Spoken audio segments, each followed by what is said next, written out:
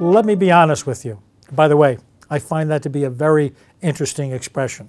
Because when people say, Chris, can I be honest? I always say, no, lie to me, see if I can catch it. But let me carry the thought a little bit forward. Let me be honest with you. I can't even remember how many diets I've started.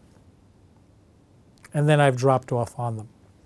And the reason for that is, is because it hasn't bothered me enough, my weight or my physical well being hasn't bothered me enough to do something about it. That's comfortable inaction because we let things stay as is until it really starts to bother us.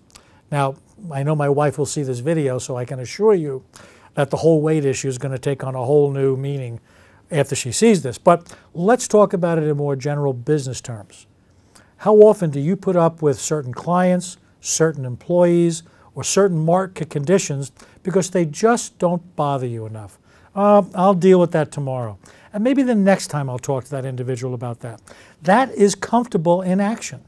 And invariably, almost, I can almost guarantee it, that when you finally decide to act, the situation is either worse then, or will be worse, or it may be beyond the point of no return.